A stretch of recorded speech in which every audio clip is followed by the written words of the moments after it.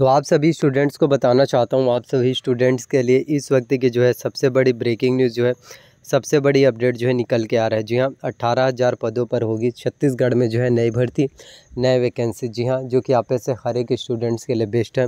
जो भी स्टूडेंट जो गवर्नमेंट जॉब्स की तैयारी कर रहे हैं। तो देखिए अट्ठारह हज़ार भर्ती परीक्षा अट्ठारह हज़ार नए वैकेंसी जो है कम नहीं होता, बहुत ही ज़्यादा इंपॉर्टेंट है।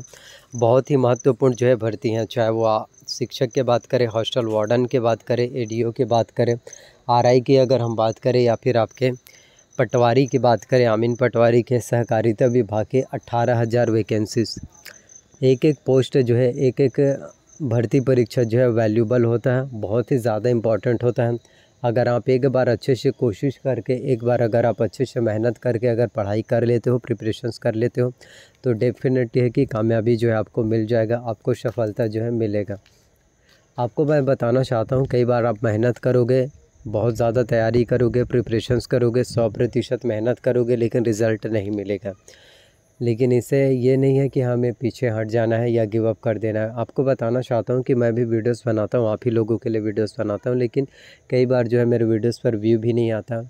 लेकिन इसका मतलब ये थोड़ी नहीं कि मैं गिव अप कर लूँगा, बिल्कुल भी नहीं। ठीक इसी तरह से आपको भी ज़िंदगी में गिव अप नहीं करना है। लाइफ में बहुत ज़्यादा टर्निंग टर्निंग पॉइंट आते हैं। लाइफ में बहुत ज़्यादा प्रॉब्लम्स ये सभी परेशानी आती हैं, लेकिन लाइफ वही है ना, जो आपके लाइफ में कितने भी ज़्यादा प्रॉब्लम्स आए, परेशानियाँ आपको प्रॉब्लम्स के बारे में बिल्कुल नहीं सोचना है।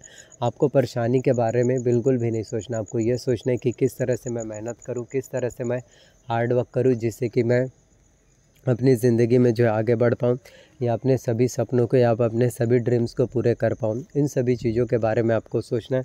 देखो प्रॉब्लम्स के बारे में सोचने से, परेशानी के बारे में सोचने से प्रॉब्लम्स या परेशानी जो है सॉल्व नहीं होने वाला है। आपको सोल्यूशंस के बारे में सोचना है। अगर आप शिक्षक बनना चाहते हो तो उसके लिए आपको ग्रेजुएशंस कंप्लीट करना होगा। अगर आपका ग्रेजुएशंस कंप्लीट हो चुका है तो आप जो है शिक्षक बनने के लिए बिल्कुल एलिजिबल हो। और इसके साथ साथ आपका जो है बीएड होना चाहिए या फिर डीएलएड होना चाहिए। दोनों में से कोई एक आपने चाहे बीएड किया हो या फिर आपने डीएलएड किया हो। और साथ में जो है टेट एग्ज़ाम, जो टीचर एलिजिबिलिटी टेस्ट है, छत्तीसगढ़ शिक्षा पात्रता परीक्षा, जो कि आप से हर एक स्टूडेंट्स के लिए जो है बेस्ट है। तो अगर आप अच्छे से तैयारी करते हो, अगर आप अच्छे से मेहनत करते हो तो डेफ़िनेटली है कि इसमें आपको कामयाबी मिल पाएगा। अपने आप पर जो है भरोसा रखना और ये चीज़ें बिल्कुल भी मत सोचना कि यार हम ये चीज़ें कर पाएँगे या फिर नहीं कर पाएँगे। डेफ़िनेटली आप वो चीज़ें कर पाओगे डेफ़िनेटली आप सक्सेस हो पाओगे। बस कोशिश तो करो, आप एक बार मेहनत तो करो। रिज़ल्ट के बारे में क्यों सोच रहे हो? परिणाम के बारे में क्यों सोच रहे हो? आपका रिज़ल्ट बेहतर होगा, आपको बेहतर परिणाम मिलेगा। और आपको ज़िंदगी में सक्सेस प्रसिद्धि जो है डेफिनेटली मिल पाएगा। सक्सेस के डेफिनेशंस क्या है? ऐसा थोड़ी नहीं कि एक बार मेहनत किया तो अगली बार कामयाब हो गए, वही सक्सेस के डेफिनेशन थोड़ी ना है। फेलियर के बाद जो सक्सेस मिलता है सक्सेस तो वही है। तो बार बार लाइफ में आपको दिक्कतें आ रही हैं प्रॉब्लम्स आ रही हैं, परेशानी आ रही हैं। लाइफ में उतार चढ़ाव आ रहे हैं तो उन सभी उतार चढ़ाव को पार करके ही जो हासिल होता है, जो रिज़ल्ट हासिल होता है, वही तो सक्सेस है। तो अट्ठारह हज़ार ये आने वाले भर्ती परीक्षा, जो आपके लाइफ को पूरी की पूरी तरह से चेंज कर सकता है। आपके लाइफ को पूरी की पूरी तरह से बदल सकता है। अगर हम बात करें आपके एडीओ के ही तो एडीओ बनने के लिए आपका ग्रेजुएशन कंप्लीट होना चाहिए। ग्रेजुएशन जो है माध्यमिक शिक्षा मंडल रायपुर बोर्ड से होना चाहिए। अगर आपका ग्रेजुएशन कंप्लीट हो चुका है तो आप इसके लिए एलिजिबल हो। डेफिनेटली आप इसके लिए आवेदन कर सकते हो। और आवेदन करने के लिए कम से कम इक्कीस साल आपका जो है होना ही चाहिए। और मैक्सिमम इसमें जो है एज लिमिट में भी आपको छूट जो है देखने को मिलता है। एस को पाँच वर्ष का ओ को तीन वर्ष का। तो यही चीज़ है जो आपके लाइफ को पूरी तरह से इन्हेंस कर सकता है। आपके लाइफ में बहुत ज़्यादा बदलाव ला सकता है। देखो, ज़िंदगी में ना प्रॉब्लम्स, परेशानी हमेशा आती जाती रहेंगी। आप ये सोचोगे कि ज़िंदगी में बहुत ज़्यादा सिर्फ़ कामयाबी ही कामयाबी और सिर्फ़ कामयाबी मिलेगा तो ये चीज़ें नहीं होने वाला, दोनों चीज़ें होता है। लाइफ में बहुत बार ऐसा होगा जो आपको निराशा देगी और बहुत बार ऐसा होगा जो अनएक्सपेक्टेड रहेगा, जिसकी आपने कल्पना भी नहीं किया होगा, जिसकी आपने कभी उम्मीद भी नहीं किया होगा, वो भी रिज़ल्ट आपको मिलेगा। तो दोनों चीज़ें हैं। तो दोनों के लिए ही आपको तैयार रहना है, मेहनत भी करना है, काम भी करना है हार्डवर्क भी करना है और उसके लिए उसी एफ़र्ट के साथ जो है अपने काम पर जो है लगे रहना है। एक ही चीज़ पर टारगेट होना चाहिए, एक ही चीज़ पर जो है फोकस होना चाहिए। आपको कभी भी रिज़ल्ट के बारे में सोच कर डिसअपॉइंट नहीं होना है। आपका कॉम्पिटिशन्स कोई और नहीं है, आप खुद हो। सेल्फ़ कॉन्फिडेंस को बस इम्प्रूवमेंट करना है। जितना ज़्यादा तुम सेल्फ़ कॉन्फिडेंस को इम्प्रूवमेंट करोगे, उतने ही ज़्यादा तुम आगे बढ़ पाओगे। आपको किसी और के रिकॉर्ड्स को ब्रेक करने की बिल्कुल ज़रूरत नहीं है।